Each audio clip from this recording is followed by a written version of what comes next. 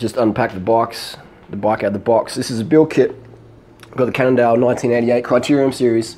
One way to get your bike protected against scratches. Those scratches are new. I didn't put any uh, wrap around it, so it's got scratched up, but I don't really care too much. But if you want your bike protected against scratching, just cover it with some uh, the foam stuff you get from any bin or bubble wrap. Build kit. I'm going to put the old power tap on here and uh, tyres. It's a GP4000S. Can you see that?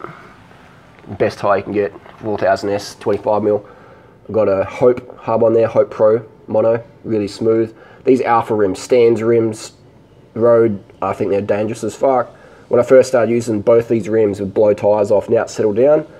But do not buy this product. It is fucking, I wouldn't even give these away.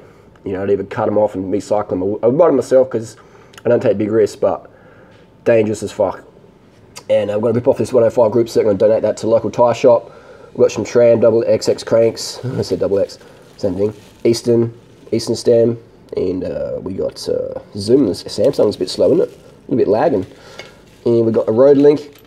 Put a, put a 36 cassette or a 40 cassette on there. It's a SRAM Red.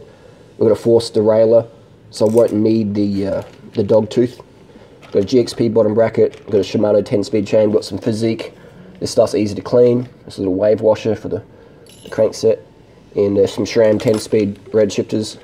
These are super light. What brakes will they work with? Um, not too sure. We'll find out. Maybe put some 105 or some Dura-Ace brakes on there. We've got some XTR. Uh, we've got here. We've got the uh, M9000s. So a nice little pedal there. The XTR durable though. Unfortunately, the XTR quality has gone down a lot um, the last year or couple of years with the pedals. So The XTR pedals aren't as good as they used to be. And we have a quill stem adapter for this little bad boy because I'm going to run a hair. Got some bars as well. This little mirrors, uh, nothing. I forgot my Italian race mirror. This is a steel fork. Got a bit of clearance in there. Can probably run a 28 in there, no worries. And this is look at these graphics, man. I'm pretty sure this is called Blueberry Blue, or it's called Blueberry, and it's an old Cannondale mint condition, mint condition. And I, no wonder I hadn't been ridden because look at these cranks. They're like a 40, 42 something, you know, like 42 inner and like a, a 54 or something. Just stupid gearing. Look at that, like I saw that cassette is. I mean, it's good if you live in Florida, but you want me right up hills enjoying it on that sort of setup. The tyre's original as well, Michelin Select. I'll keep that tire, I'll use it till it's done. Still got plenty of tread on it. In uh, the old Wolber rims, I'll just donate that to a local shop. They can keep the the six seven speed. He's at one, two, three, four, five, six speed, six speed Shimano 105, still in mint condition, mint condition and zoom on the Samsung lagging S7 Edge undercard. There you go. Any questions, let us know down below.